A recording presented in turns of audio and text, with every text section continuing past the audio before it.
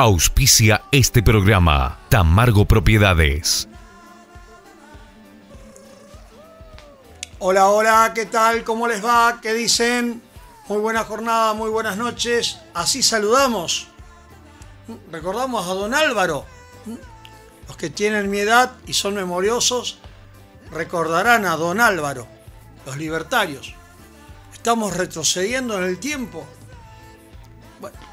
De esto hablaremos en el programa también, de lo que ocurrió eh, en las PASO, en las primarias, a nivel país, a nivel provincia, a nivel regional. Eh, en algunos sitios de nuestra región donde sorpresivamente, supuestamente, eh, ganó León Milei, el libertario, como Cumbrecita, como en La Cruz.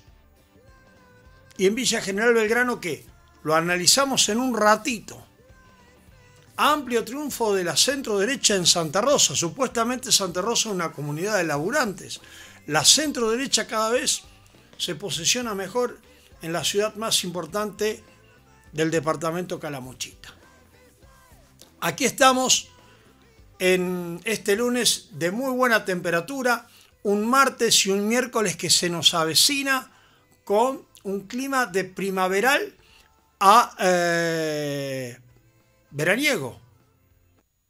Y si te falta temperatura, hoy a la mañana, lunes a la mañana, te enterabas que el central devaluaba un 22% el peso argentino.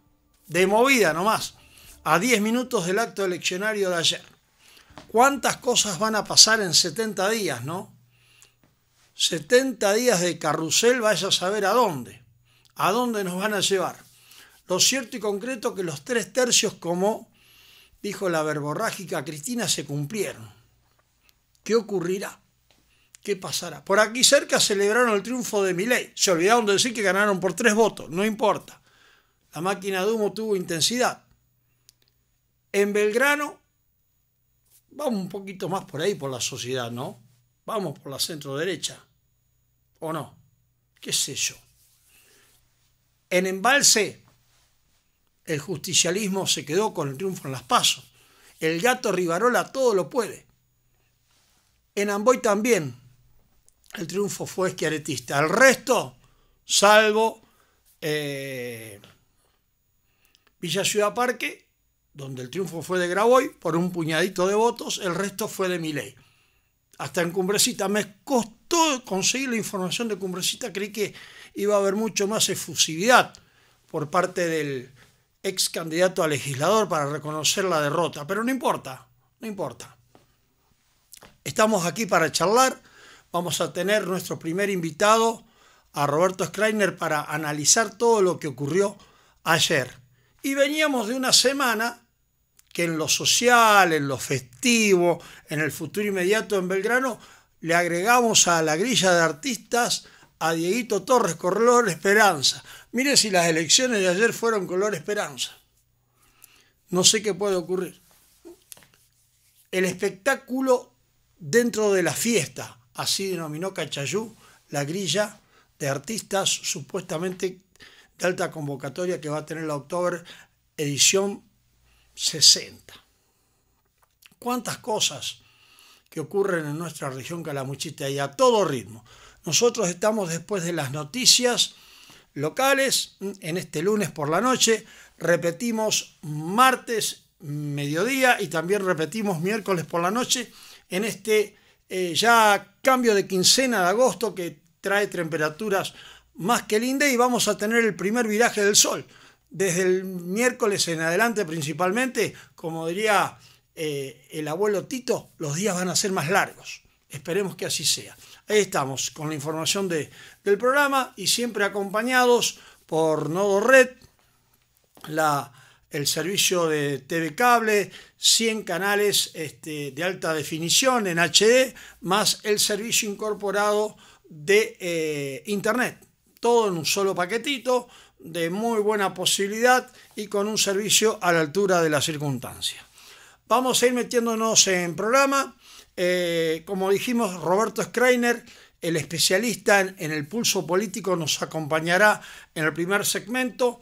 Para la mitad del, encuentro de hoy, eh, Martín Musiforo, abogado querellante de la familia de Joaquín, de aquel trágico accidente en Cruz del Eje hace un par de domingos atrás, que socialmente para mal nos atravesó a todos en nuestra región, y digo a todos los habitantes de, del valle y dejándonos con feas sensaciones, las manos vacías y este reclamo por parte de la familia de Joaquín totalmente lógico, entendible, de ir en busca de justicia.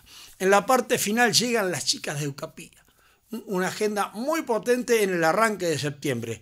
Tres días muy intensos de conferencia, charlas, encuentros, 4, 5 y 6 de septiembre. Esto lo vamos a charlar para que ustedes lo compartan en el segmento final del programa. Arranquemos, vamos.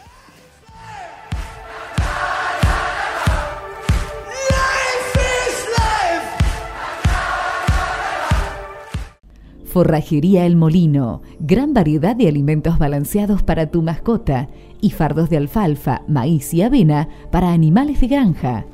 También venta de leña y gas envasado en garrafas de 10, 15 y 45 kilogramos. Forrajería El Molino, Julio Roca 1224, teléfonos 46 1351 o 15 48 0135. Realizamos entregas a domicilio. Área protegida, urgencias y emergencias. Hoteles, cabañas, comercios, industrias, instituciones, consorcios, centros culturales y deportivos brindando asistencia a cualquier persona en tránsito ante una situación de urgencia médica en el establecimiento. Cobertura las 24 horas, los 365 días del año. Accede al beneficio de tarifa preferencial para médico a domicilio. Área comercial de 546 54 54 45. La información desde la Cooperativa de Luz y Fuerza de Villa General Belgrano. ¿Alguna vez te imaginabas poder ver tu serie favorita, jugar online, tener tus clases virtuales, navegar por tus redes sociales, estar informado y mirar los últimos eventos en tu televisión de alta definición al mismo tiempo? Con NodoRed podés hacer todo esto sin interrupciones y con el mejor asesoramiento. Consulta por tu plan y las zonas de cobertura. NodoRed Internet más televisión. Somos más que Internet y televisión. Nuevo servicio de la Cooperativa de Luz y Fuerza de Villa General Belgrano.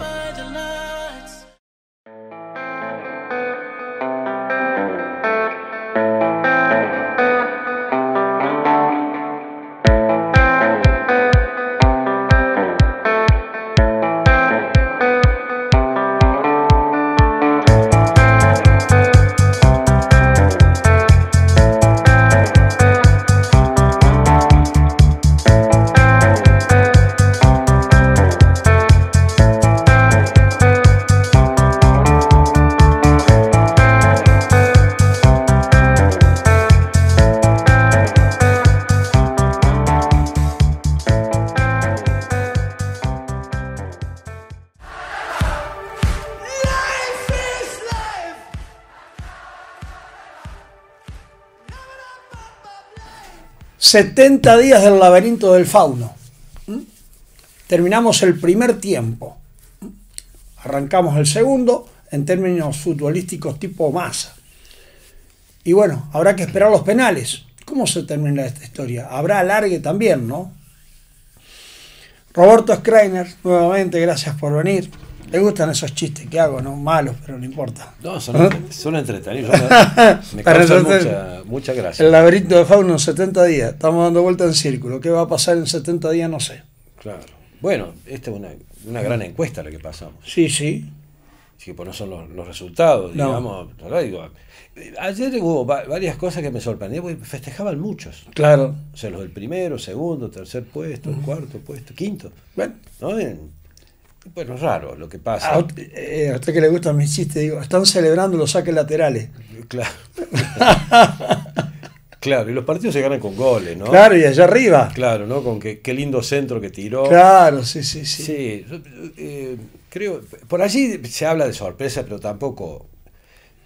no querían reconocer de que, de, que había, existía esta posibilidad, ¿no? Pero de todas formas, con todo lo que A usted que le gusta castigar a los medios de comunicación, donde me incluye a mí, y por ahí este, va, va por lo que dice usted, todos los días te están diciendo que este no, que este no, y le doy letra y sigue, ¿cuántas entrevistas realizó el supuesto ganador triunfador Milei en Córdoba Capital con los medios dominantes? Ninguna. Anoche, anoche analizaba eso y lo dije, lo dije en varios lugares. El tema es el siguiente. Dos millones de seguidores tiene Milei. Ajá. Y, por ejemplo, la reta 900.000 y Massa 600.000. Fíjate, todo un, todo un detalle. Sí, sí. La pregunta es, ¿ganó Milei en Córdoba como en muchos, 17 distritos más? Pero, ¿cuántas veces vino Córdoba? Por ejemplo, ¿no? Hablando de Córdoba. Digo, acá, este, ¿quién ganó? ¿Ganó Milei también? En BGB sí. ¿Y cuánto? en Calamuchita. No, ¿Cuánta gente vino? ¿Cuántas veces nunca vino? Nunca vino. Después nos metemos tierra adentro. Claro, pero ¿qué dijo, por ejemplo, para la provincia de Córdoba que iba a hacer? Nada. Nada. Entonces, este, fíjense que eh, eh, yo veía corto publicitario de los otros candidatos, bueno, no de los 31, pero 30, ese es otro tema, la cantidad de boletas que había dentro del cuarto oscuro. Pero otra vez hablamos de eso, ¿no? En realidad eh, de 31, bueno, hay que ver quiénes fueron realmente con intenciones de hacer política y quiénes fueron con intenciones de hacer algún negocio también. Esto es importante. Y escuchaba ayer a algunos kirchneristas que decían que, este, que haya ganado mi ley es culpa de los medios. Y eh, no estaba de acuerdo con eso, a pesar de que yo los castigo un poquito, pero no estaba de acuerdo porque, y, le dije esto, ¿cómo? Le digo, a ver, decime, ¿qué medio en Córdoba le dio espacio a mi ley? Para que si, si no vino. Usted me habla del filo K eh, en Córdoba. Sí, sí, en la provincia, amigos, ¿no? Una discusión con amigos, digamos, no, no, no discusiones así. No, y también tienen sus cuestiones, donde eh, Gabrielita Esteves hizo una grandísima elección, 8.7 contra Federico 2.2. Eh, claro, sí, otro tema. Bueno, bueno, bueno. sacó que... En Córdoba? En la provincia, no me acuerdo, ayer, digamos, yo, eh, salió tercero más. Sí, en todos lados salió 15, tercero. 12 puntos, 13 puntos. Entonces, bueno, ahí está lo que hablamos el otro día, un núcleo duro, importante, que en el, caso gobernador no lo, no, lo, no lo tuvieron. Pero es como que, eh, digo, le falta un poco de resiliencia este, a, esto, a este, este sector político porque están en el lamento, o sea, no hay absolutamente nada. Creo que el único que dijo algo, bueno, dice, vamos a salir ahora falta segundo tiempo, tercer tiempo, la largue, qué sé yo, pero es como que, muchachos, hay que saber a lograr. Fíjate vos cómo este, en, Córdoba, Unión por Córdoba, Unión, eh, hacemos por, por Córdoba. Hacemos por la patria a nivel nacional. Sí. Hacemos juntos por la patria. Pero digo, en las elecciones a gobernador y en las elecciones, fundamentalmente intendente en Córdoba, ¿no? Cómo este, Yarlora y Pasarini terminaron dando vuelta a esa elección. La dieron vuelta, trabajando. Pero es que no hay otra receta. Y que salieron, salieron. Bueno, yo escuchaba anoche el discurso de Grabois, de Juan Grabois. Eh, por ejemplo, en ningún momento lo nombró a Massa en el discurso. Sí. Estaría muy bueno analizarlo ese discurso. Y en un momento que estaba con el micrófono de mano derecha y tenía la plataforma de gobierno en la mano izquierda. Y le dice, le quiero entregar esto. Así hizo. Perdón, no sé, el director, así, yo no estoy acostumbrado, pero como diciéndole, maestro, acá te digo y te dejo lo que tenés que hacer. Estaba hablando y estaba enojadísimo la cara de Rossi, de Agustín Rossi, la cara de, de, Massa. Eh, digo, este, y la cantidad de memes que hay hoy de este, sobre Massa intentando llamarlo a mi ley, por ejemplo, ¿no? Algunos lo toman en broma, pero digo, no había un candidato puro del PJ o del kirchnerismo. Massa no viene de allí. Bueno, cuando Cristina lo nombra por primera vez a Milley, los medios afines al filo K, que dicen, Cristina sube al reina Milley.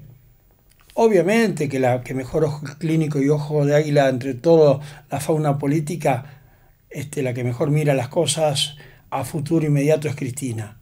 Y ya lo vio venir hace rato. Y, los medios, algunos sí y otros no lo querían poner en el tapete del debate, algunos por enojo, como los medios de Córdoba cuando nunca los atendió.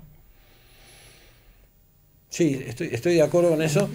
Porque estaba pensando, no era silencio, estaba, a veces pienso, ¿no? Y, Estaba pensando en el 18 de mayo del 2019, cuando Cristina anunció a Alberto Fernández. Claro.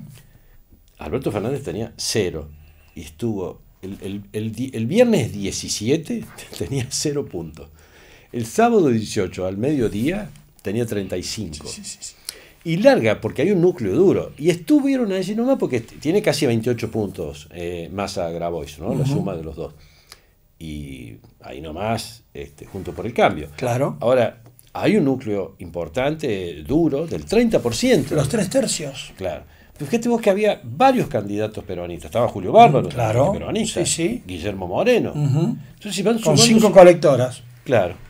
Ahora hay que ver para dónde van esos que. Yo no sé si votaría la gente de Julio Bárbaro, pero pasa que Julio Bárbaro sacó el 0,09. Claro. Es muy poquito lo que, Lo, que obtuvo. Eh, Moreno no llegó, este, pero esos votos, digo, ¿de en algún lugar van a, van a terminar. Claro.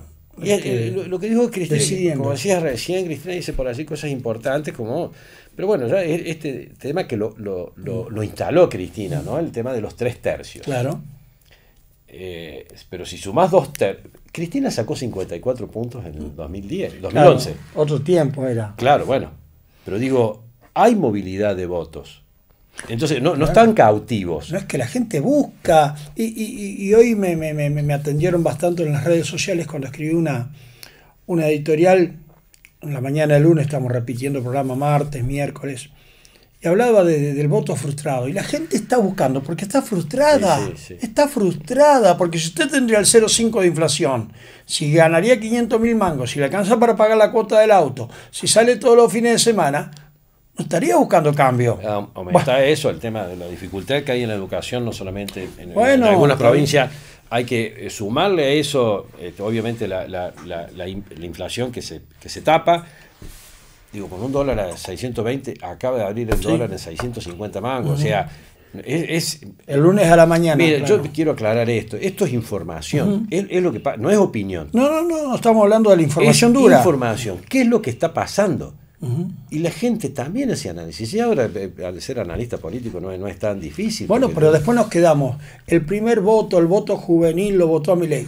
¿Lo sabían o no lo sabían? Los no tanto jóvenes también lo votaron a mi ley. Y en Córdoba, si no, no, pasás el, el, techo del 30. Te tienen que votar, eh, como pasó en Calamuchita. Pero ahí, bueno. se rompió la, esa cuna de los jóvenes que votaban a mi ley está bien, hay dos millones de seguidores que son activos en las redes sociales y que lo siguen. Pero el tipo viene con un cambio de actitud porque realmente las, propuestas este, es como que todo lo otro nos sirve y vamos a hacer esto. Fíjate vos que es de los de los candidatos. La economía de este gobierno sirve poco. ¿eh? esto sí es una opinión. Pero en realidad es el único de los 31 candidatos que estaba hablando de Argentina a 30 años. El problema es este. Nosotros tenemos todo que solucionar, todo a, corto, plazo. y a mediano plazo, casi nada. No hay una visión a largo plazo. Nosotros necesitamos una visión país a corto, mediano y largo plazo. A corto plazo, que es tratar de, la economía fundamentalmente, pero fíjate vos que a nivel nacional la, demanda, la demanda sobre el, tema económico pasó, a superó a la demanda sobre seguridad. Y realmente hay serios problemas de seguridad. Entonces, digo, y este tipo viene y dice, no lo digo despectivamente, ¿no? Este tipo, porque, mm. si no digo, aparece como una mesa de café, lo digo, aparece y corre todo eso, desplaza todo eso, y rompe esa cuna de los jóvenes que votaban a, a Mila, inclusive kirchneristas, jóvenes kirchneristas que han votado a mí le cansados de un montón de cosas y son los que están viendo para afuera y que están estudiando el tema de las expectativas. Digo, hay un montón, hay un combo de cosas. Eh, eh, hace 15 años atrás o más, el voto joven iba para el lado del malogrado Néstor.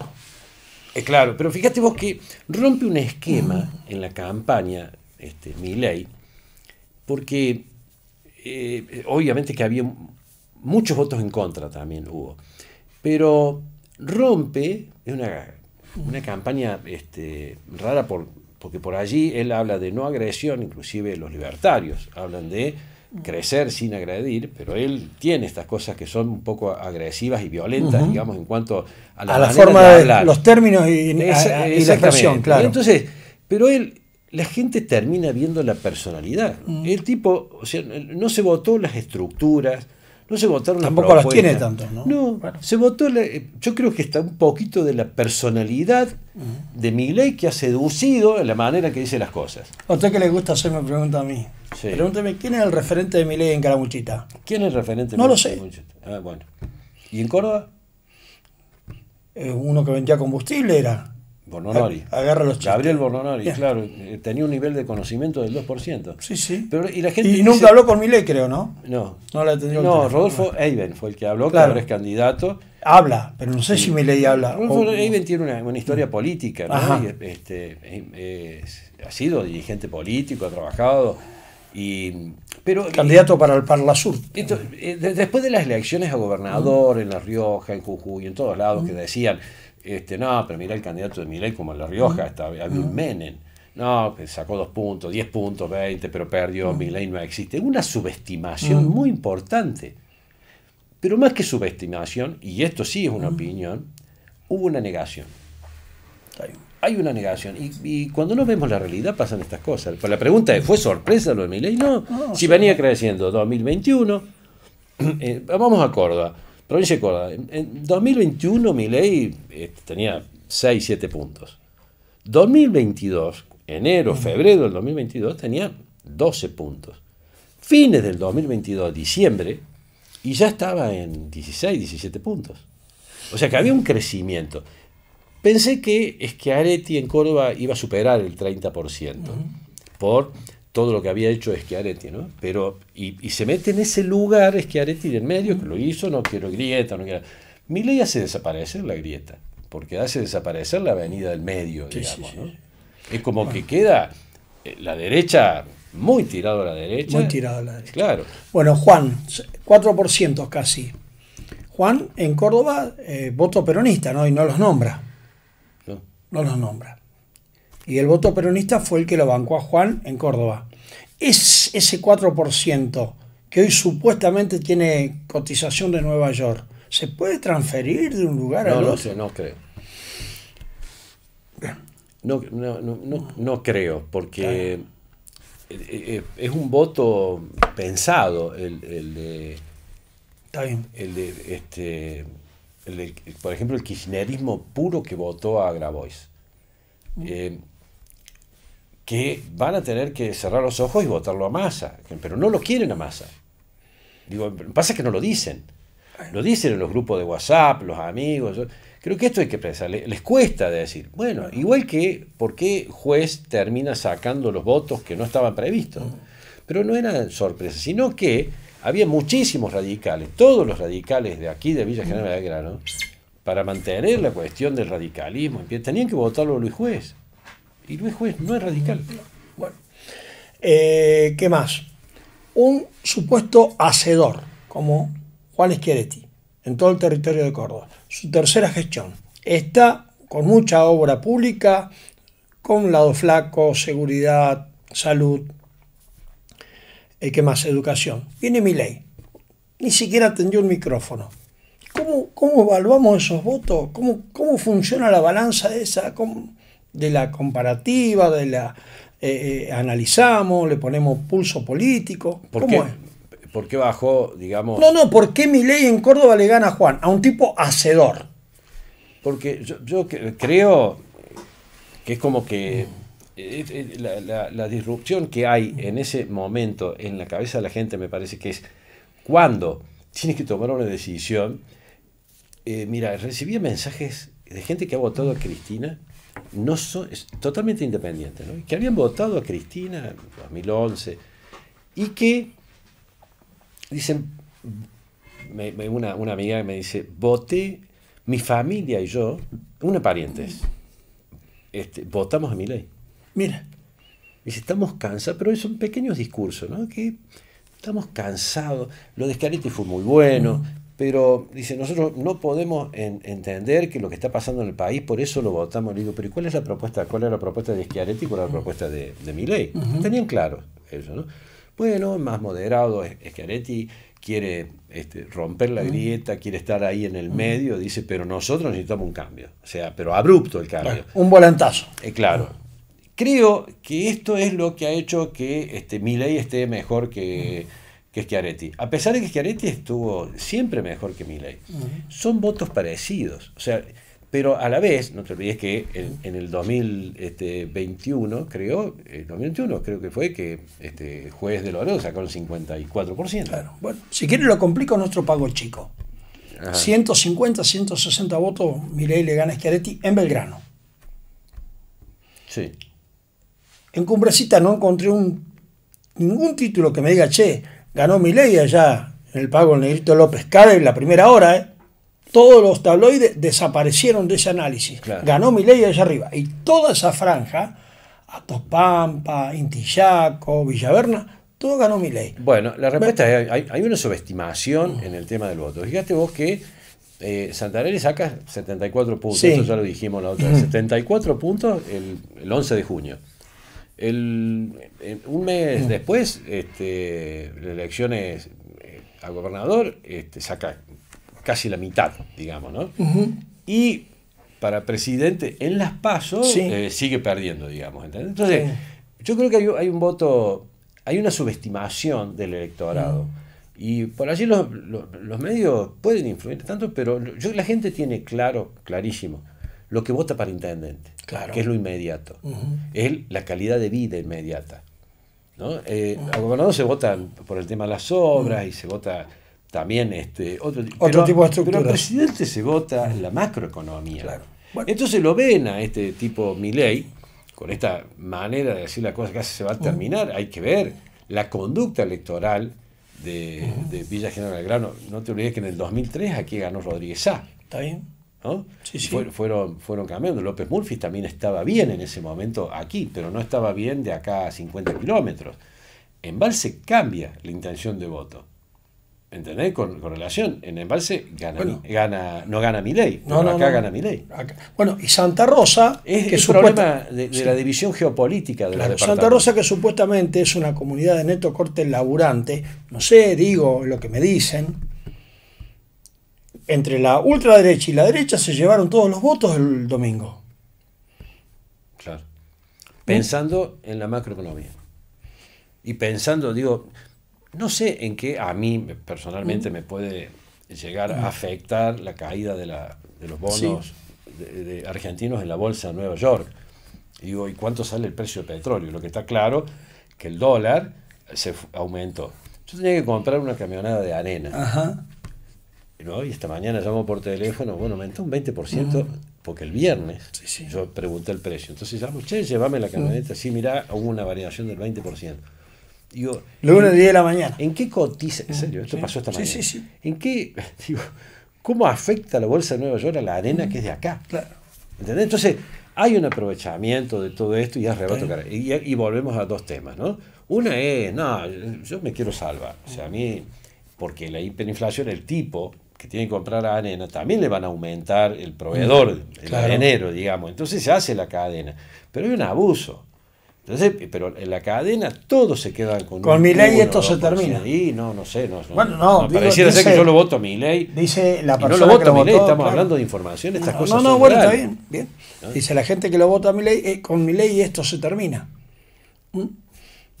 Bueno, hay cosas gravísimas que ha dicho Milei, que a mí esto es una opinión personal que no me gusta, ¿eh? el tema de la aportación de armas, que después le aclaró algunas cosas, pero esas cosas nosotros no las, no, las queremos. Puede haber un grupo de gente que sí esté de acuerdo, pero porque ha sufrido delitos y posiblemente tenga tenga problemas, ¿no? Porque vos escuchás, eh, digo, eh, escuchás a alguien que ha, sufrido un robo, un arrebato con violencia y todo eso, y si lo sufrió el sábado, el domingo salió a votar a Milei, digamos, ¿no? O a Patricia Bullrich. Bueno, ¿y qué puede pasar de acá a los 70 días? A octubre, ¿cuándo es 22, 23? Bueno, falta... Hay, 70 días son de campaña. Laberinto del Fauno. A mí lo que me preocupa va a ser, eh, por ejemplo, si hay balotage, me va a preocupar. Va a haber balotage. Con estos números va a haber... Eh, no sé. ¿Usted dice que va a haber un ganador puro? ¿Cuántos votos tiene que amontonar? Se tienen que... 45 mínimo. Claro, entonces, eh, si dice que no hay balotaje, estamos hablando de un consenso entre Patricia y Milei. estamos hablando del núcleo duro. Bueno, bueno, la reta, los votos de la reta. Esto que decíamos recién, los votos de Grabois, ¿van a ir a Sergio Massa? Bueno, Los votos de la reta. Sí. Digo, porque si bien uno de los problemas que tuvo la reta Bullrich, porque pierden espacio electoral, pierden cantidad de votos, tiene que ver con la pelea permanente, se, pero se mataron en, la- en todos lados, decían, y se hablaban mal entre uno y otro. La reta era más moderado, decía no confrontar. Y eh, Bullrich iba con los tapones de punta. ¿no? Entonces, este tema de lo que pasó en Córdoba, con el acercamiento de la reta con Schiaretti, cuando este, Patricia Bullrich sale, sale a decir, bajo ningún punto de vista es mi espacio, o no va a entrar aquí. Y ahora la reta no juega. ¿Dónde van esos votos? Por ejemplo, de la reta. Esos 11, 12 puntos que sacó. Bueno, van pues yo- derecho. Yo lo estoy apretando porque usted me dijo en una de esas no hay balotaje. Para que no haya balotaje, no encuentro otra fórmula de que el núcleo duro se unifique. Pero ¿qué pasa si ese 5 puntos, 5 puntos de Grabois no van a masa? Cae masa. Sí, porque Massa tiene que ir nutriéndose. Si no, no, no, no. Claro. Tercero, como terminó ayer, pero más para atrás en cuanto voto- al porcentaje. Cada voto termina valiendo un 50% más para el otro.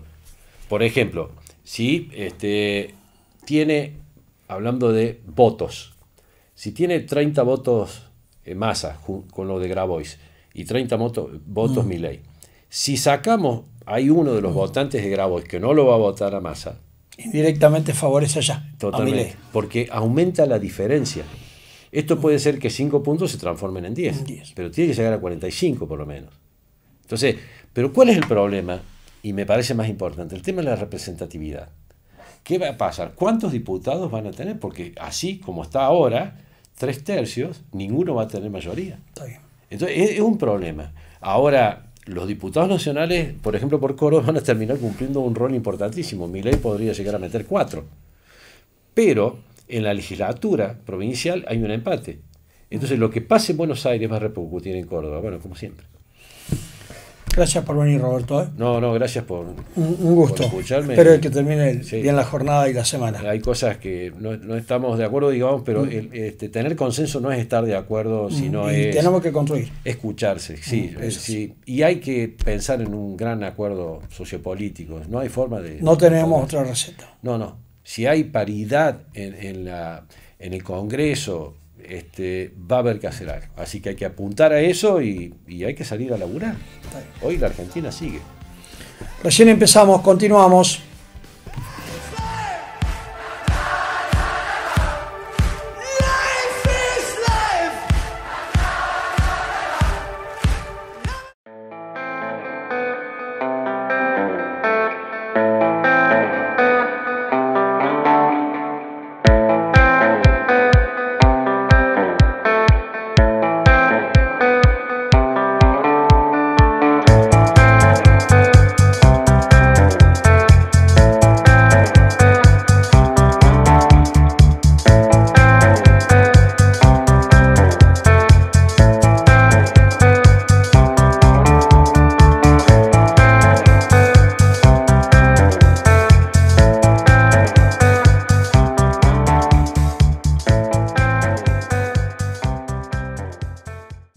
Forrajería El Molino, gran variedad de alimentos balanceados para tu mascota y fardos de alfalfa, maíz y avena para animales de granja. También venta de leña y gas envasado en garrafas de 10, 15 y 45 kilogramos. Forrajería El Molino, Julio Roca 1224, teléfonos 46 1351 o 15 48 0135. Realizamos entregas a domicilio. Área protegida, urgencias y emergencias. Hoteles, cabañas, comercios, industrias, instituciones, consorcios, centros culturales y deportivos. Brindando asistencia a cualquier persona en tránsito ante una situación de urgencia médica en el establecimiento. Cobertura las 24 horas, los 365 días del año. Accede al beneficio de tarifa preferencial para médico a domicilio. Área comercial de 546 54 54 45. La información desde la cooperativa de Luz y Fuerza de Villa General Belgrano.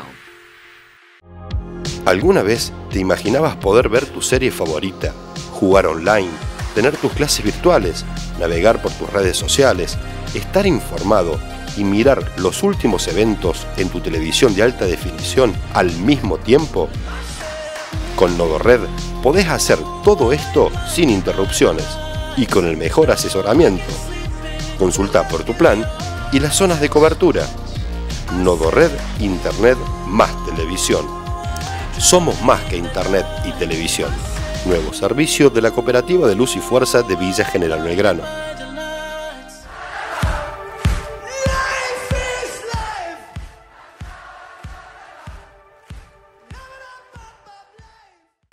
Bueno, y desde el primer enfoque de la política en estado puro cambiamos totalmente la, la sintonía. Noticia dura, si las hubo en los últimos tiempos, si bien aquel accidente fatal de hace un par de domingos tenía una distancia más que prudente de nuestra región, estamos hablando de Cruz del Eje, aquella fatalidad donde la, la zona se quedó sin tres personas muy, muy arraigadas en nuestro sector, Joaquín, su pareja, la beba de tres años, se mediatizó la familia de, Joaquín que, luchó, luchó hasta donde pudo en, en, la terapia intensiva de Córdoba Capital y después, bueno, nos quedamos con las manos vacías. Pero su propio padre dijo, voy a ir en busca de la justicia, quiero la justicia totalmente lógico, entendible, más allá del dolor de lo irreparable. No nos podemos poner del otro lugar de la persona que siente y que piensa luego de que en un ratito le dicen, che, falleció tu nieta. La pareja de tu hijo falleció. Tu hijo no se sabe hasta cuándo va a vivir. ¿Cómo, cómo nos ponemos en el lugar de esas personas? Un costado de la realidad, de, la historia cruel. Y para la familia de, Joaquín, quieren obviamente que esta historia tenga otro tipo de final que no el, el del olvido. Vamos a dialogar con Martín Nuciforo, que es el abogado querellante de la familia de Joaquín, que está llevando adelante en un campo seguramente a la distancia, no sé si adverso, complicado, una tarea de investigación donde le puedo asegurar más de media calamuchita quiere saber qué pasó allí. Hola doctor, ¿cómo anda abogado? Gracias por aceptar la charla. Me extendí un poquito para ponernos en autos, como dicen ustedes, de una situación que realmente nos golpeó, nos, nos dolió. No, no pudimos estar distraídos, Martín. No, en absoluto, en absoluto. Y mm, completando también tus palabras, a mí también me, lo, me cruza en lo personal porque conozco la familia, lo conocí a Joaquín de, recién nacido prácticamente, ¿no? Entonces es un caso también muy doloroso, muy doloroso. Y también eh, hablando de, bueno, con tus palabras introductorias en cuanto a la, a la familia, la fortaleza del padre, la madre, eh, en, luchar con esto, ¿no? También que no, no, no es fácil. Eh, Perdieron un hijo, la nuera, una bebé de tres meses, eh, accidente gravísimo. Eh, pero bueno, acá estamos y ellos están firmes eh, junto conmigo. En la semana pasada hemos estado ya en, Fiscalía de Cruz del Eje. estamos interviniendo personalmente. bueno, primero, como se sabe, hay un, hay un accidente que generó el triste fallecimiento de la... El desenlace fatal, claro. De la, primero de la, de la bebita de tres meses y después de la señora de Joaquín. Joaquín fallece unos días después en un nosocomio en Córdoba, eh, producto de serias heridas y serias lesiones. Y acá viene un tema, ¿no? Porque lo que primero era un siniestro vial, eh, muy, muy, mediante un impacto muy fuerte. Muy violento. Muy violento. Eh, después encontramos otra situación que se plantea posteriori, porque recordamos que había ocurrido que, bueno, después del impacto de la Maroc, de la Volkswagen Amarok eh, contra el auto de mi, de mi defendido, eh, resultan despedidos los tres ocupantes, ¿no? El matrimonio y la, y la pequeña bebé. La señora y la bebé pierden la vida minutos después en el lugar. Joaquín queda eh, seriamente herido, seriamente lastimado, volcado sobre el guardarray. Esto es, eh, O sea, la, la imagen Claro. material del hecho, ¿no? ¿Cómo- cómo Informe, informe en estado puro. Exactamente. Es, es noticia, es lo que ocurrió. Exactamente, o sea... eh, Son los hechos. Exactamente, los hechos duros, como son. Y bueno, eh, a posteriori la, la, eh, son rescatados. eh, Joaquín, bueno, es el primero que es eh, trasladado, atento que estaba, estaba con vida. Con signos vitales, claro. con signos vitales. Y como te lo había comentado, ese mismo día, el domingo por la noche, ya el padre que, se ha, que ha aparecido en los medios, eh, Hugo, esperando el parte médico del estado de salud de su hijo, se entera, se entera de que eh, Joaquín, además del accidente, había sido agredido, salvajemente agredido. Bueno, eh, se inicia una, una investigación, eh, surgen testimonios, eh, testigos presenciales. Yo estuve en el lugar del hecho la semana pasada y bueno, eh, constaté que inclusive los, los mismos testigos que han declarado viven a pocos metros del cruce donde se produce el hecho. ¿Sabes? Fueron testigos presenciales, directos. Directos, claro. sí, sí. Fueron los que inclusive, eh, a partir de este segundo hecho, que es que, eh, para hacer una, un- una, bre- una breve, un, una- un direccionamiento, cómo, bien- cómo se produjo todo, la Maroc embiste al auto de Joaquín y después embiste a un auto que estaba del otro lado, que Un es Duna. un Duna. El conductor de Dunas desciende y, y comienza a agredir a Joaquín, eh, que estaba totalmente indefenso. Claro, tirado ahí Como te en- comentaba, en la había proximidad quedado- del Guarray, claro. Estaba recostado, eh, tomado sobre el guardarray. Entonces, bueno, empezó a aplicar, según los relatos de testigos, puntapiés numerosos en la, en la zona de la espalda eh, y también en zona, de, zona del cráneo, zona de la cabeza. Eh, este hecho, bueno, lo, informa gente que había estado ahí en el lugar, así que bueno, se inició otra causa penal eh, que está en curso ahora. Eh, y bueno, se hicieron obviamente, Joaquín se hizo cuando estaba en vida, el último día antes de fallecer, se hizo, el, se hizo un, efectivamente la- lo que es el, el- fue inspeccionado por policía judicial, Claro. se hizo una, un estudio de cama caliente para ver qué lesiones provenían del accidente y qué lesiones habían provenido de la, de la, de la agresión que entendemos que han agravado el estado de salud, ¿no?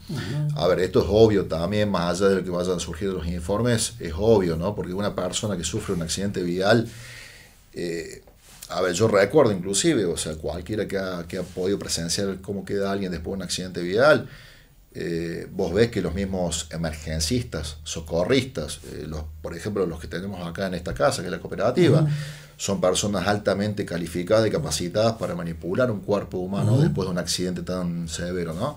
Fíjate, como decirte que lo primero que hace te, te colocan un cuello ortopédico por si tenés una lesión Claro. cervical o neurológica.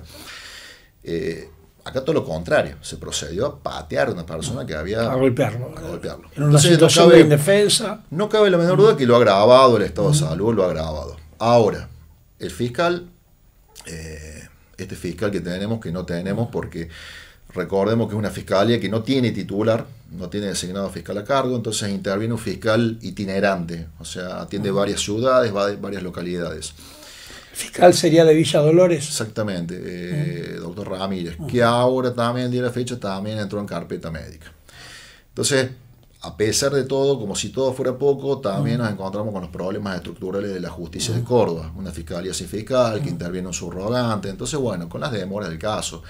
Aún así, aún así se están llevando a cabo eh, varias medidas, entre ellas, bueno, el- el informe de autopsia que ya tiene que estar en estos días, como así también el informe cama caliente que se había hecho cuando Joaquín estaba en vida, antes que falleciera. Eso se le va sumando a la denuncia que tomaron a regañadiente la propia policía el domingo de la fatalidad. Entiendo de que Sí, sí, van sí. a tener un rol fundamental los testigos oculares, Los testigos ya declararon ya. el peritaje en el lugar del hecho. Entiendo que va a haber un- una sumatoria que, que van a ser el componente de la causa y que también va a tener un, un rótulo esa carátula. Yo eh, inicialmente trato esto como dos causas, Ajá. eh, dos causas separadas. Para mí son dos hechos aislados. El segundo hecho no puede ser una consecuencia del primero, ¿sí? Es una agresión. Una agresión como cualquier agresión que ocurre en la vía pública, ¿sí? Porque no quiero que después vayamos a querer justificar de que lo segundo pasó como resultado del primero, que fue un día de furia. No, no, no, no. Para mí, lo segundo hecho tiene que estar bien aislado. Es una agresión. ¿Qué pasa? El fiscal de instrucción está esperando y creo que con, buen criterio cuál es el resultado de la autopsia y también cuál es el, cuál es el resultado del informe de cama caliente que se hizo oportunamente. Porque va a depender la, la imputación. O sea, podemos hablar de imputación más o menos. ¿Hay imputados en este minuto? Sí, sí. Eh, del, primer hecho, el siniestro vial en sí, eh, el conductor de la Amaro, que está imputado por homicidio culposo, calificado por el número de víctimas, porque siempre eh, se califica a partir de más, cuando fallece más de una persona. En este caso ya tenemos tres, tres fallecidos. Está imputado. De esa causa, el accidente vial, Obviamente que también se va a realizar y ya está trabajando gente, peritos en otro equipo, en la, en la pericia accidentológica que va a ser fundamental para determinar las responsabilidades, eh, la mecánica del, del, siniestro, por supuesto, y también las responsabilidades del caso. Eh, eso por un lado. Y por el otro, en cuanto a la agresión esta eh, posterior, eh, entendemos de que bueno, el fiscal va, depende de estos informes para determinar, ya tiene pruebas recabadas de los testigos presenciales del lugar del hecho, de que la agresión existió. Creo que también tiene que ahora determinar qué imputación, porque no es lo mismo imputar lesiones eh, leves, graves, o también un homicidio por... Eh, intento de homicidio, claro. O un homicidio también hay que ver también si determina si el homicidio viene de ahí o, viene del, o, la muerte se produce con el accidente. Eh, no es fácil, es complejo el tema, pero bueno, creo que vamos por el camino para que se determine bien qué pasó eh, tanto en el siniestro como también en la segunda agresión. De que la agresión, perdón, eh, y termino con esto. No, no, no, ah, tenemos tiempo. Pero la, de que la agresión empeoró el estado de salud, no cabe ninguna duda. Eh, lo que sí, bueno, habrá que determinar con los informes respectivos si generó eh, el fallecimiento o no. Eso ya es una cuestión que se va a determinar. Dos consultas le quería hacer. En definitiva, la fiscalía que va a atender la causa, ¿va a ser de Córdoba Capital o de la región de Cruz del Eje? Hoy es de Cruz del Eje. Todavía sigue, siendo Cruz del Eje. Eh, no, porque usted narró algunos detalles que hacen que no tenga un rápido recorrido el, la, causa.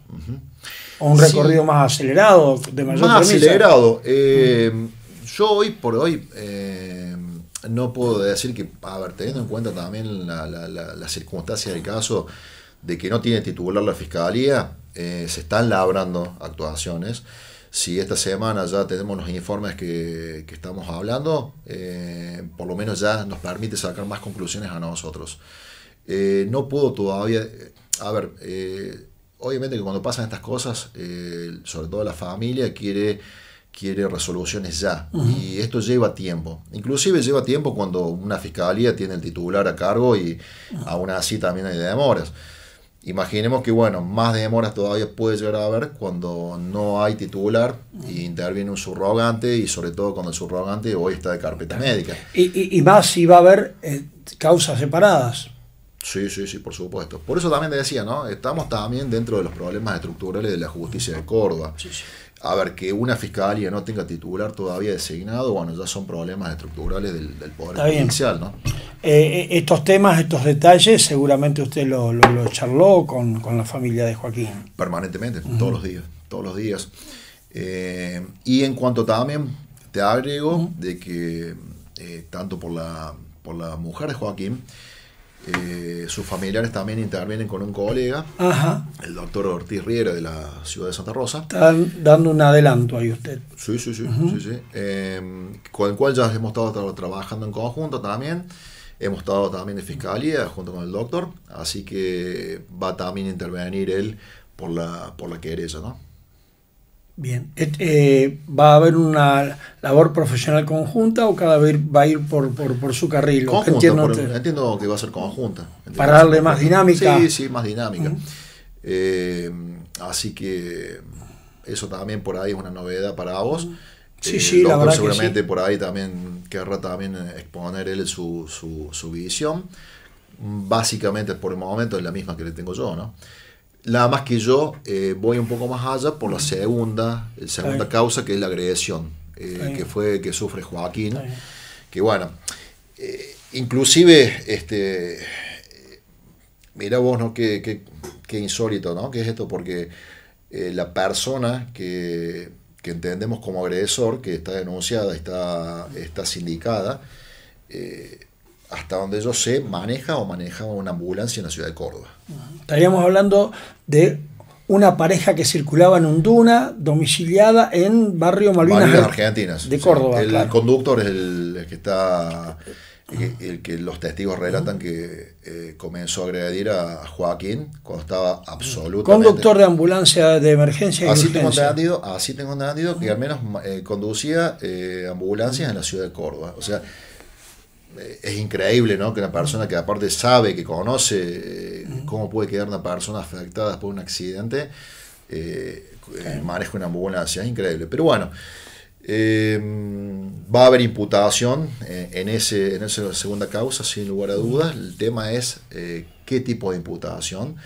Ya nos enteraremos en las próximas horas, porque como te decía, puede ser lesiones leves, graves, o también puede haber participado en una actitud y, lo comentamos incluso en otras charlas, eh, accidentes de características similares o, de menor violencia en nuestra región, por poner nombre y apellido rápido, Paula Abrera detiene en forma inmediata a la persona que podría darse como imputada eh, y conductora de, un vehículo que estaba en la fatalidad eh, vial involucrada también no hay un mismo ritmo, no hay una misma visión. No, bueno, son, a ver, entiendo que también hay criterios. Eh, criterios, no me salió el término. Hay criterios de, detención. Que en algunos casos la detención, eh, esa detención inmediata, cautelar, es positiva porque por ahí a lo mejor máxime cuando son eh, el, imputado o el, el, causante del accidente está domiciliado en la misma localidad donde están los testigos, entonces como para no contaminar la prueba, a veces son medidas que están, que son, eh, que están bien tomadas, ¿no? siempre y cuando no se extiendan innecesariamente. Son medidas coercitivas y siempre eso queda a criterio del, del, fiscal de instrucción. ¿Usted tuvo acceso al peritaje que se realizó en el lugar de los hechos? ¿Por parte de la policía o tránsito? No puedo adelantar nada sobre eso. no puedo adelantar nada por cuestiones de sumario. Eh, inclusive también ya me voy a estar enterando, notificando de los informes de autopsia. Pero básicamente lo que nosotros eh, aspiramos fundamentalmente es a la, a la pericia accidentológica que se va a hacer, que todavía no se hizo, que va a ser mucho más concreta y más detallada. Y, usted lo mencionó la pasada, no solamente estoy trabajando yo, hay un equipo.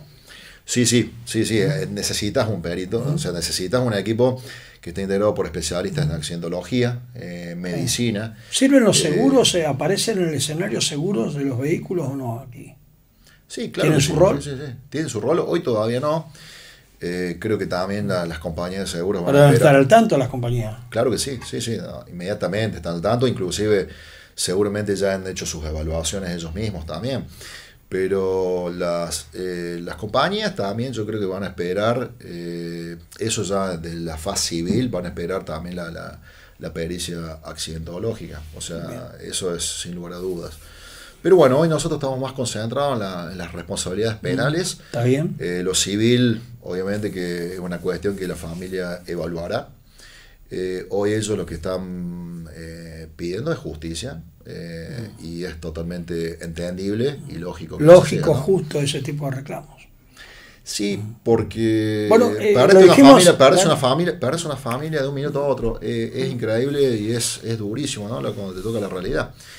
y además de eso, después encontrás el segundo hecho, que hoy hay que determinar qué también qué incidencia tuvo en, la, en, la, en el resultado final con respecto a Joaquín, el fallecimiento. Claro. Eh, es complicado, es muy complejo el tema. Porque seguramente nadie le saca la, idea y la posibilidad a esa familia si no hubiesen golpeado a mi hijo, hoy todavía tendríamos esperanza de vida. ¿Está latente? Es una pregunta. es, una, es un interrogante. Es un interrogante. Entre tanto dolor. Eh, vos te imaginas que fueron cinco días eh, de estar este, esperando al, hijo en, el, en, la, en, la, terapia intensiva Y esa pregunta surgió cada, cada minuto. Si no lo hubieran agredido con posterioridad al accidente, a lo mejor no estaba en terapia, estaba en sala común, recuperándose de las heridas del primer accidente. Es una pregunta que va a tener respuesta con el informe de cama caliente eh, que hizo medicina forense y con la y con el informe de autopsia eso va a despejar todas las dudas también, y va a determinar también las imputaciones que van a venir al segundo a la segunda causa ¿no? así que bueno eh, vamos a estar eh, atentos y a disposición por supuesto pero necesitamos este tipo de información. agradecerle que, que tengamos esta posibilidad de explayarnos, explicar técnicamente cuál es su rol, es su equipo, qué es lo que estamos eh, presenciando eh, en la búsqueda de qué, porque lo decíamos al principio, la, familia tiene su dolor y bueno, cada uno lo siente y lo expresa como, como lo puede sobrellevar.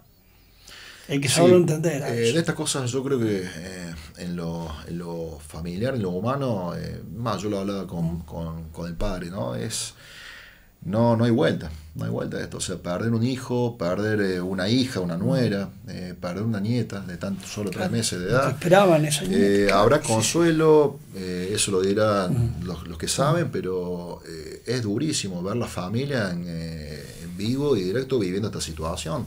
Los padres de la, de la nuera, gente también de Santa Rosa. es muy difícil, es muy difícil. Así que, pero bueno, van a tener que reponerse y sobreponerse esto de alguna forma. ¿no? Y, pero creo que también eso va a venir de la mano de, la, de que haya resoluciones judiciales, al menos como para permitirle que, que sobrelleven la, situación. Y que descansen por lo menos en paz los chicos y tengan justicia. ¿no?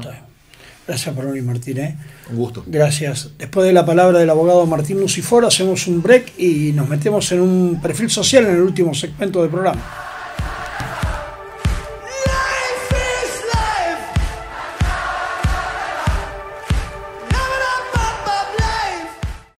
Forrajería El Molino, gran variedad de alimentos balanceados para tu mascota y fardos de alfalfa, maíz y avena para animales de granja. También venta de leña y gas envasado en garrafas de 10, 15 y 45 kilogramos.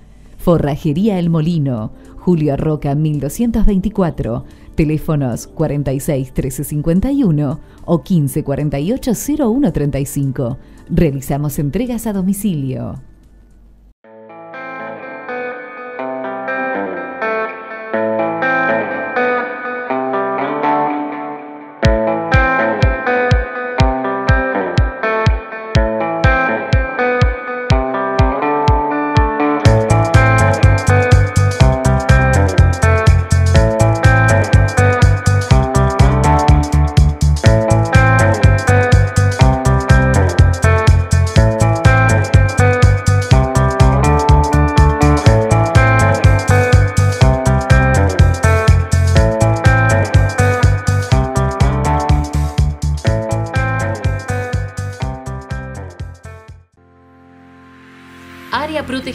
Urgencias y emergencias.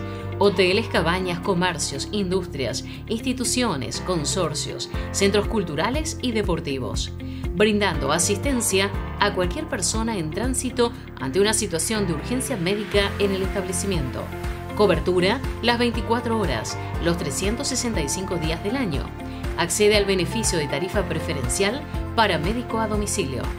Área comercial de 546 54 54 45.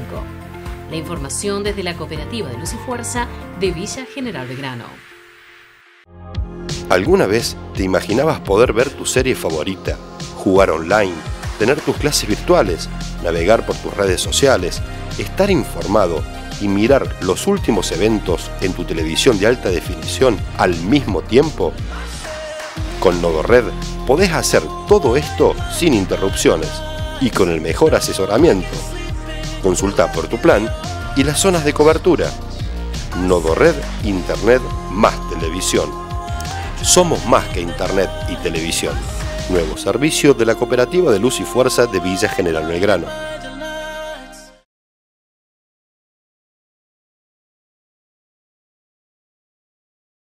Bueno, lo anunciamos antes del corte, antes del break, que íbamos a tener este segmento dedicado pura y exclusivamente al andar social de la comunidad. ¿Cómo andan? ¿Qué tal? ¿Cómo estamos con el acento? Porque usted siempre me corrige, a ver. Eucapía. Bien. Con acento No lo pronuncié porque ya lo iba a Eucapía. pronunciar mal. Con acento en la La- Eucapía. Los estaba extrañando. Bueno, Sí. qué lindo que nos está extrañando. No, porque entonces- este, eh, tienen mucha energía, mucho Bueno. combustible, mucho por hacer en la comunidad y, y es lindo todas estas movilizaciones, estos encuentros con Sí. distintas posibilidades. Sí, sí, claro que sí. Claro que sí. Y cuando vamos por la familia, mejor todavía. Sí, en este caso eh, creo que desde el año pasado eh, que comenzamos con alguna actividad relacionada a la educación, que fue la primera jornada que hicimos de educación emocional para docentes, este año retomamos el tema y vamos a hacer la segunda jornada de educación emocional para docentes. Esta vez es educación emocional en la era digital. Ajá. El tema es muy importante, el tema es lindo para desarrollarlo. Vienen este, la licenciada Mariana Falabella y también con la doctora Marcela Falabella, su hermana, ¿Mm? Y bueno, lo vamos a desarrollar el día 5 de septiembre. Amplio conocimiento, las dos muy apasionadas Sí. de- y saben de qué, de qué se Saben, trata. tienen saben. un colegio, Sí, sí. o sea, ellas conocen bien de la actividad educativa, ¿no? Mucho, y mucho. Bien, eh, tiene fecha marcada Sí, el día 5. Cinco. El día 5 de, De septiembre. septiembre. Sí. Este, va a ser a las, a las 15 horas, comienza. Ya Sandra va a explicar el horario y cómo se va a desarrollar. Y eh, va a ser en el Salón de Eventos Municipal. Bien, bien. Bueno, Sandra, entonces arrancamos el 5 El con cinco. horario. con una jornada de capacitación de 15 a 19 en el salón de eventos. Si bien yo soy parte de UCAPIA, también estoy representando a la municipalidad que siempre colabora con las distintas instituciones y en este caso también a UCAPIA en un tema tan importante donde también eh, los padres están preocupados y plantean siempre a sus docentes esto de la era digital, de la educación emocional y bueno, va a ser una capacitación gratuita eh, para docentes. El año pasado fue un éxito total. Eh, teníamos el centro de convenciones repletos y todos los docentes se fueron con ganas de que lo volvamos a repetir. Por eso es importante dar a conocer que las inscripciones están abiertas. Ahora Carmen van a dar unos teléfonos para que bueno, se vuelva a repetir con la misma intensidad y las mismas ganas, ¿no? ¿Con quién habló de, de- de las posibilidades de las inscripciones? ¿Con Carmen? Sí, o el teléfono después. no, sí. yo lo puedo A ver. decir Sí. que eh, si es tenemos como es a la antigua, ¿cupo limitado o es amplitud térmica? No, eh, Ah. vamos, va a ser mientras estemos cómodos en el salón, porque Claro. ese es el lugar de encuentro, ¿no es Sí. cierto? Este, pero es importante que los docentes, los directivos, eh, las autoridades del colegio, eh, Se también, claro, Sí. lo- lo- los gabinetes psicopedagógicos, eh, los que sean los docentes que sean de currícula y los docentes de áreas, o sea, que, se, que todos participen. ¿no? Esta invitación es a participar porque vamos a sacar muchos beneficios y fundamentalmente nosotros queremos este, que la problemática del aula eh, le podamos brindar eh, recursos que van a ser como la información estratégica de aplicación, eh, vamos a brindarles este, dinámicas y vamos a brindarles herramientas. Está O sea que esto es muy importante para que en el aula casualmente se pueda dar esta combinación de la problemática del aula con la, este, la educación emocional en la era digital, que es muy particular. Sí, muy compleja. Mm, muy compleja. Muy, muy complejo. muy Sí. complejo. Por eso lo dejamos en manos de las profesionales. Eh, ahí, ahí va a ir, ahí va a ir, porque tienen palabras exactas, eh, eh, te, te- te- te llevan al microclima de pronto que el docente también necesita para estar observando detalles que quizás no la vemos en la diaria. es- Claro que es así, claro que es así. Está bien. Va a haber una previa al 5 Gladys. Eh, sí, eh, siguiendo con lo que dice Laura, justamente dentro de la- los objetivos de Eucapía para este año es trabajar sobre el bienestar psíquico y físico también de las personas, como hemos hecho en otras oportunidades, como la palabra dice, Eucapía es una oportunidad. Y eh, se van a brindar talleres que también fueron eh, hechos el año pasado con mucho éxito Y este año tenemos un cupo limitado, como usted dice. Ajá, Así bien. que sí, eh, pedimos a las escuelas donde estamos cursando las invitaciones que, se, que hagan la, la- el- la inscripción a través de Eucapía en- por mail. Así le reservamos un lugar porque son cuatro. Está bien. Dos por la mañana y dos por la tarde. Claro. Entonces- Para la jornada del 4 Cuatro, de septiembre. que es, es la visita de estas profesionales a las escuelas. Eh, el año pasado ya lo... Ahí va a haber un recorrido en las en la escuelas. escuela. Por Bien. eso ella, eh, con los alumnos. esta, Bien. esta profesional ya tienen contacto con el año el del año pasado y ya hicieron esas visitas a la escuela y quedaron eh, con vínculos repetir, claro. en repetir y bueno ellas ya van a saber qué temas tratar y sobre todo desde bullying grooming y el Claro. acoso escolar ¿Cuántos en temas de superactualidad? ¿Cuánto, cuánta Totalmente. También. Entonces también está dentro de, de esos objetivos que tenemos es en la persona mayor, adulta, donde esta era digital también nos estresa mucho y sabemos que vivimos en un mundo agresivo, donde permanentemente recibimos agresiones del medio, de la sociedad, de lo laboral, de la era digital. Entonces eh, también van a tener un tema para desarrollar ese día Claro. y va a ser el- eh, un té. un té este, En- en el día de- 6. El día 6 de El septiembre. día 6 de septiembre. Sí, un té en Altos de Belgrano, donde va a disertar Marcela Falabella, va a ser a las 17 horas. Eh, bueno, se va a cobrar este, una, Una entrada. una entrada de 2 mil pesos y anticipadas eh, van a costar 1.800. Bien. ¿Y hay, quiénes van a participar ahí? Es una invitación Sí, abierta a la abierta, sociedad. sí. A la Es sociedad. para, bien. es para el té. Es un té. té. Sí. Está bien. Es un Primer té que va a ser Eucapía. Así Está que bien. bueno, vamos a hacer un té. Bienvenido. Y, la, y Con se una puede... charla. Sí. Es dirigido a todos, mujeres y hombres, porque todos vivimos esta situación de, de un estrés digital, digamos, y bueno, que se puedan realizar. Aparte, este, está eh, bien eh, ensamblada la fecha. El 4 recorremos las Eso escuelas. es importante. Sí. Claro. Sí. Y usted que- Repetir bien. claro. claro. Y marcar bien el circuito, que las escuelas con anticipación, sus directivos, se acercan es. a ustedes con los distintos contactos para ir Para- armando la agenda. Exactamente, para anotarse, porque solo vamos a anotar los cuatro primeros. Claro. Entonces tienen que eh, responder a esto. Bien, bien.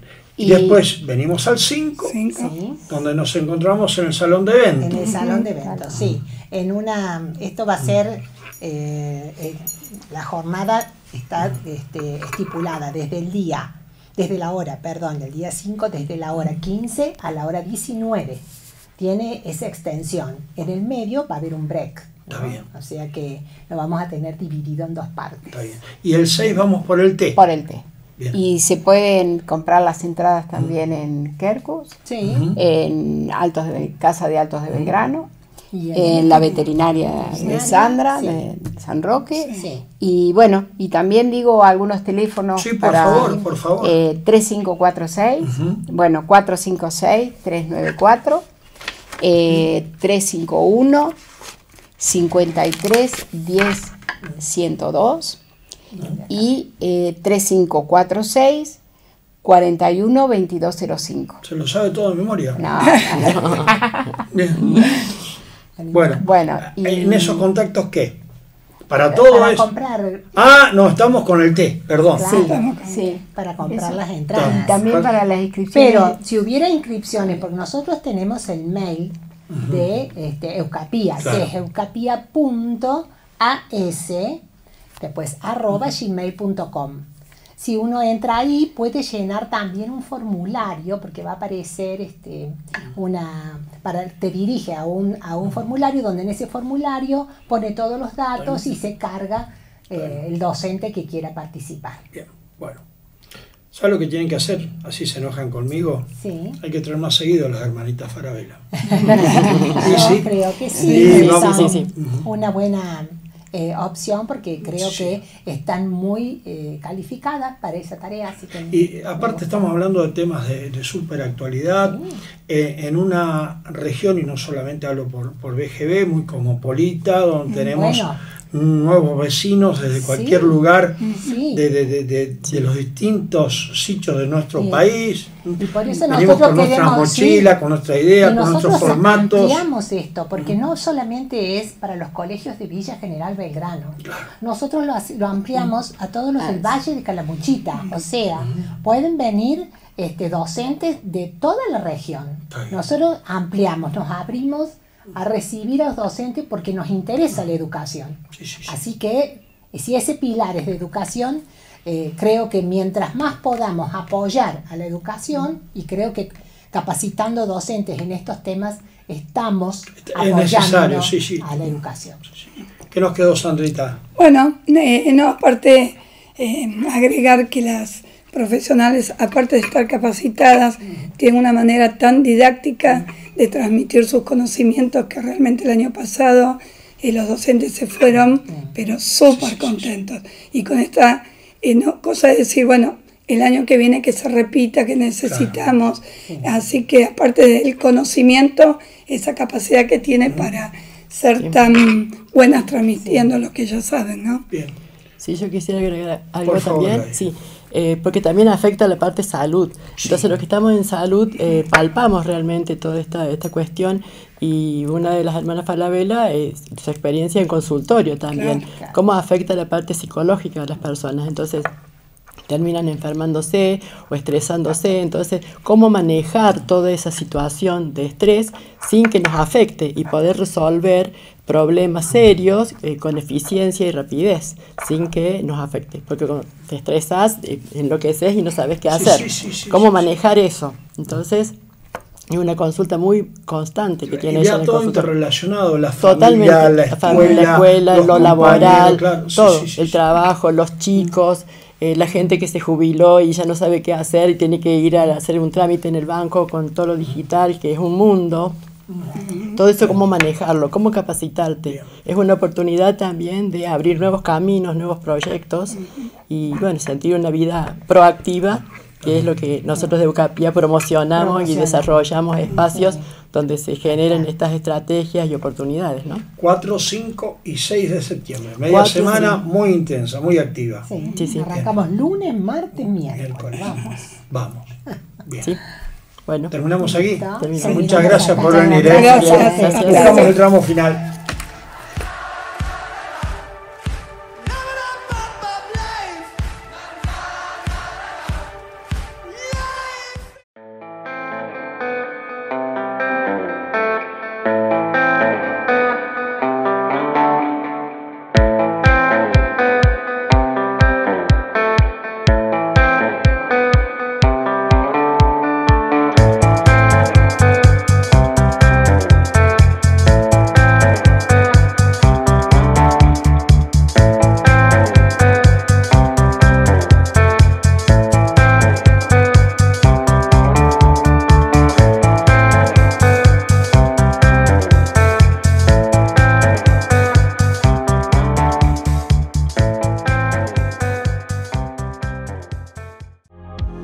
¿Alguna vez te imaginabas poder ver tu serie favorita, jugar online, tener tus clases virtuales, navegar por tus redes sociales, estar informado y mirar los últimos eventos en tu televisión de alta definición al mismo tiempo? Con NodoRed podés hacer todo esto sin interrupciones y con el mejor asesoramiento. Consulta por tu plan y las zonas de cobertura. NodoRed Internet más televisión. Somos más que Internet y televisión. Nuevo servicio de la Cooperativa de Luz y Fuerza de Villa General Belgrano. Forrajería El Molino, gran variedad de alimentos balanceados para tu mascota y fardos de alfalfa, maíz y avena para animales de granja. También venta de leña y gas envasado en garrafas de 10, 15 y 45 kilogramos. Forrajería El Molino, Julio Roca 1224, Teléfonos 46 1351 o 15 48 0135. Realizamos entregas a domicilio. Área protegida, urgencias y emergencias. Hoteles, cabañas, comercios, industrias, instituciones, consorcios, centros culturales y deportivos. Brindando asistencia a cualquier persona en tránsito ante una situación de urgencia médica en el establecimiento. Cobertura las 24 horas, los 365 días del año. Accede al beneficio de tarifa preferencial para médico a domicilio. Área comercial de 546 54 54 45. La información desde la Cooperativa de Luz y Fuerza de Villa General Belgrano.